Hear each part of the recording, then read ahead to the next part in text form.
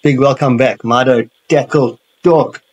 I get some really interesting orders sometimes, and the order that I'm just busy with here at the moment is going to um, Billy in St. Lucia.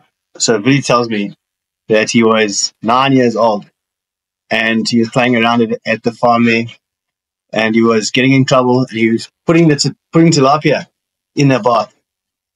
And uh, yes, he got in trouble, eh? So his mom screamed at him, Billy, get these fish out here. Well, Billy went and he, he catch the fish and he, he let them go. Then he come to his dad later. He's telling his dad, hey, dad, you know, fish swim with their heads. And the old man looks at him and he knows Brian Davey. The old man knows Brian Davey, Mydo, Mr. Mydo. So next thing, Billy at nine years old is off to Nomad Skibo Club and he's watching Brian Davey give a lecture on his thesis as our fish swims with his head, swims with his head because this is the cross looking down. Because as he moves his head, it makes a high pressure and a low pressure and a high pressure and a low pressure, and then the, and the, the tail is this way and the head's this way. So he just moves forward. So every time he does this, he creates a aileron effect, like an airplane, airplane's wing. And that's how come big fish can go much faster because it's hydraulic, hydraulic power that they're using. They use their heads, they don't flap their tails to move. Now, Billy phones me up and he checked out the new concave Mydos and he's very happy about this thing. So am I, by the way. And he ordered a lot because these guys fish very technical up there. In fact, he tells me they use number three wire.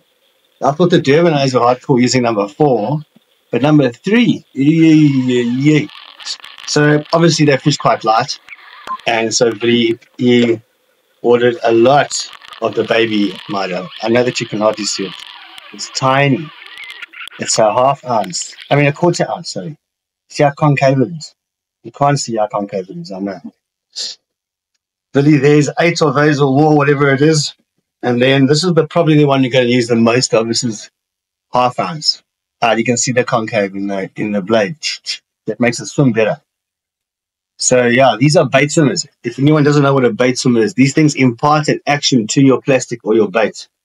They're not just like a chin weight or these are actually hydrodynamically designed by Mr. Brian Davey. These things won the 1990 Cullinan Design Award for Engineering Excellence. Yeah, Mydos. Okay, moving up the scale. I did show you that beautiful number. Uh, this is the uh, one ounce, one ounce but it comes in different shapes and uh, forms. This one is for going slow and deep. And then you've got a more of a bullet shaped one over here, also got an ounce, but that's for going faster. Like this is the ideal for a half peak. And you put it on the inside rigger clip and go. And when something takes the outside rigger, whatever, these things drop down and they become swim baits and they get to, that's how you get multiple strikes. So double functioning your your your spread. So when your when your boat stops, it's still everything's still working. Okay, moving up the line, we have got these delightful uh, two ounces. Now that thing, uh, you can see our concave. Eh? Now that thing can swim a big bunny or a shad, something big like a walla walla. and um, I do make them bigger, but just for the sake of old times, I've included an old style Mydo in here so that really can a look at the differences. This is a great thing but it doesn't really swim because it's so heavy. It's like it's overweight. It's overweight, you know. So um, it makes a bait swim like but it doesn't itself swim like this. Mydo, these ones here, yeah. The one that's in the picture now is here we go. There's this guy here. No wait. Ah, there it is. The one that's in the in the movie. So this one's um once again, it's designed to go quite a lot faster. And I had that thing rigged in the front so that it didn't go down because I was trying to catch a bullfish or a dorado on that on that day. So thing is, they're different weights in the same form factor or different form factors in the same weight because they perform different functions. This is what bait swimming is. It's working out the exact right speed, what kind of bait you got on there.